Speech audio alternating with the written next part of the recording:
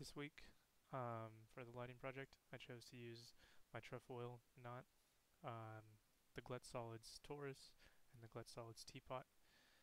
For the trefoil knot, I chose for it to be shiny, um, and we can see that it's flat shading with the way the reflections are happening.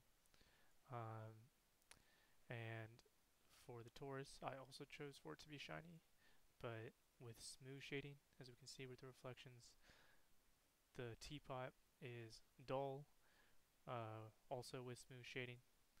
Um, I chose two point lights, this yellowish one right here, and this purplish one right here, um, and then one white spotlight that's moving and as we can see it's behaving as expected as it moves through the torus. Um, we can also turn off each one of the lights. So 0 turns off the purple light. 1 turns off the yellow light.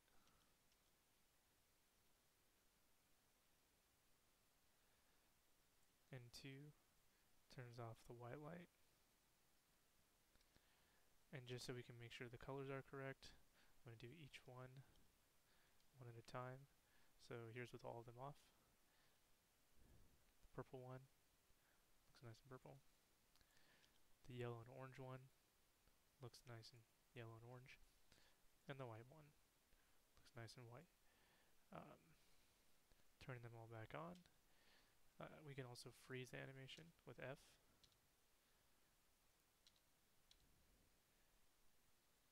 Um, so I believe that covers all the points um, so far.